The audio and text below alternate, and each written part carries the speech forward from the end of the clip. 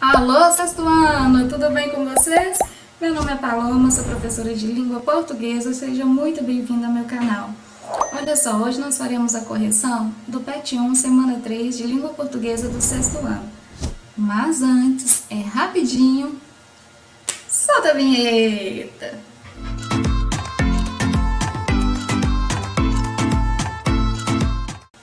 Meu caro aluno, se você quer fazer essas atividades assim com muita tranquilidade, com muito domínio da matéria, entendendo tudinho, faz o favor para mim.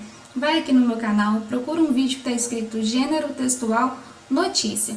Lá você vai encontrar quais são as suas principais características, quais são as suas finalidades e depois que você entender isso, a resolução da atividade vai ser muito mais tranquila. Combinado? Fechou? Ó, Tô de olho, hein? Não seja um aluno teimoso. Vou te dar um minutinho. Pronto, voltou. Já tá afiadíssimo. Então, partiu. Bora. Para resolver essas questões, essas atividades, vai ser necessária a leitura de um texto.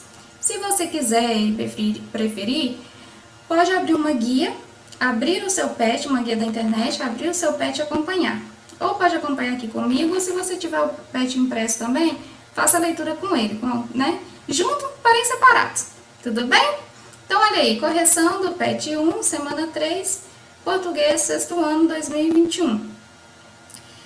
Quando eu falar para vocês em notícia, é muito importante prestar, é, é, prestar atenção no título. Nosso título está escrito assim, acompanha aí a leitura. Ciência e Tecnologia, 5 de janeiro de 2021.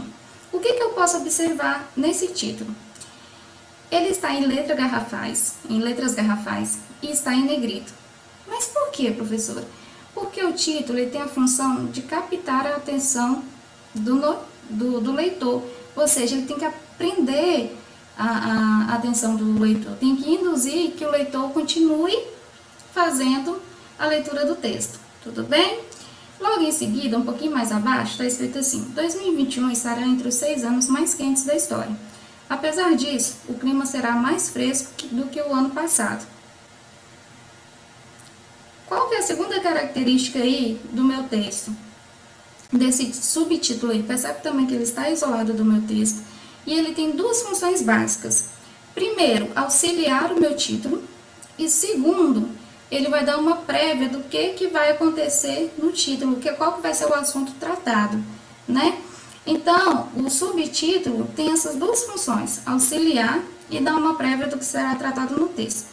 Para além disso, você pode ver que o, o título ele é um pouco menor em questão não de tamanho de letra, de estar em negrito ou não, não é isso, é em questão de quantidade de palavras. E o subtítulo, ele é mais extenso, tá? Ele é um pouquinho é, ele é um pouquinho é um pouquinho mais detalhado. Tudo bem?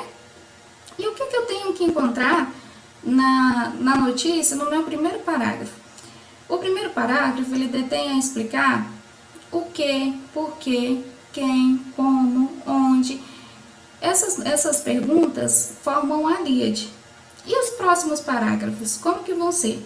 Vai o desenvolvimento, o detalhamento dessas primeiras informações. Vamos fazer a leitura? No fim de dezembro, o Centro de Meteorologia do Governo do Reino Unido divulgou uma nota prevendo que 2021 será um dos seis anos mais quentes da história, com cerca de 1,03 graus Celsius a mais do que os anos de 1850 a 1900. Isso deve acontecer por influência das mudanças climáticas provocadas pelo homem com a poluição e o desmatamento. Por outro lado, o estudo também apontou que o ano será um pouco mais fresco que 2020, que bateu recordes de calor em janeiro. É improvável que a temperatura global de 2021 seja de um ano recorde, em razão à influência atual da lanina, mas será muito mais quente do que outros anos anteriores que tiveram o fenômeno, como 2011 e 2000. Por causa do aquecimento global, disse Adam Scarf, chefe de previsão do Centro de Meteorologia do Reino Unido em entrevista à BBC. Vamos para o segundo parágrafo. A lanina é um fenômeno natural que ocorre quando ventos fortes empurram as águas quentes da superfície do Oceano Pacífico próximo à América do Sul. Com isso, águas que estão submersas, ou seja, na parte de baixo, escondidas do Sol, sobem à superfície e esfriam a atmosfera. Para o Brasil, o Instituto Nacional de Meteorologia, IMET, previu maior probabilidade de chuvas da região norte, no norte da região nordeste, nordeste e no sudeste de Mato Grosso, além do aumento da temperatura média em estados como Tocantins, Piauí e Bahia. Essa é a leitura do texto, embaixo estão aí as fontes. Vamos para as questões. Questão número 1. Um. O gênero textual pertence. É, que gênero textual pertence o texto acima? Então, A. Conto de ficção científica? Não. É, uma das características do texto notícia é que ele precisa ser o quê? Real e relevante. Real tem que ser de fato o que aconteceu, como aconteceu, e não pode ser então ficção. Então essa daí a gente já pode eliminar.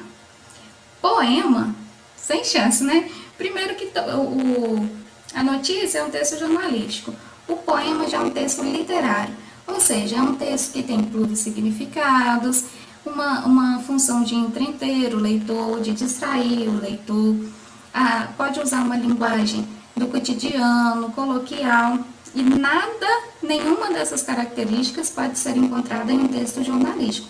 É justamente o oposto. E a fábula?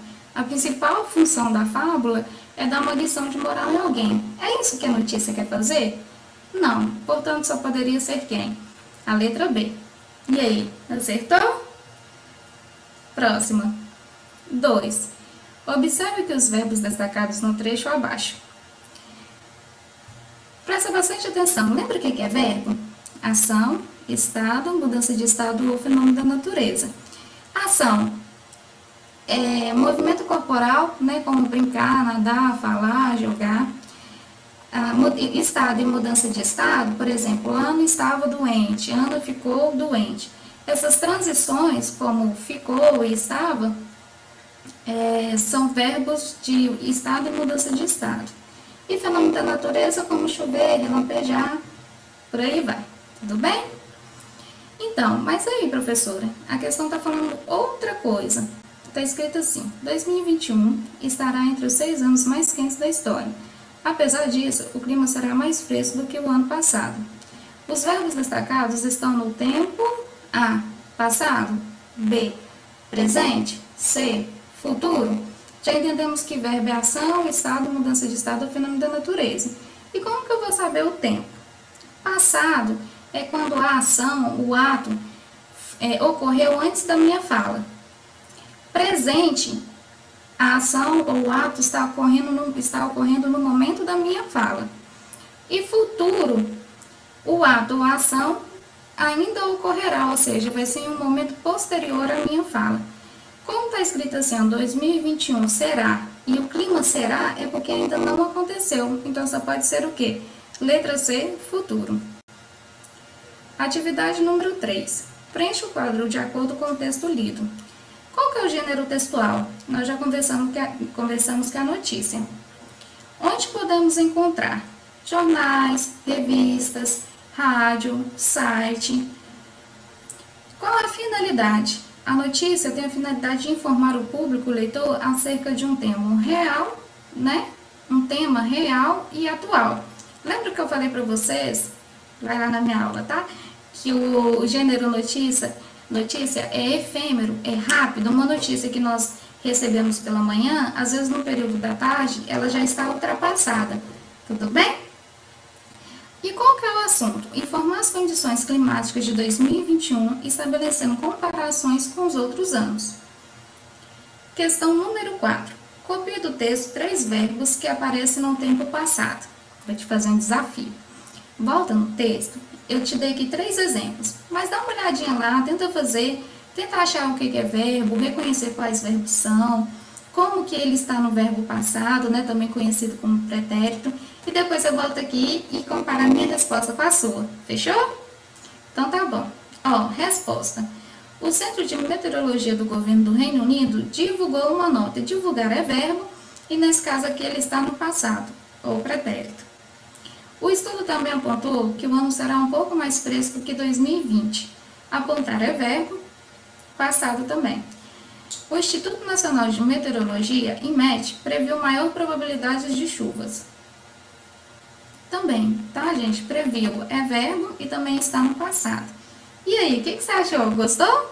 Faz um favor para mim, curte, compartilha, inscreva-se no meu canal, manda para o seu amigo que está tendo dificuldade aí nesse momento de distanciamento social, de aulas remotas e fique à vontade para tirar as dúvidas, tá? Só deixar aqui no comentário, eu vou responder assim que possível. Tudo bem?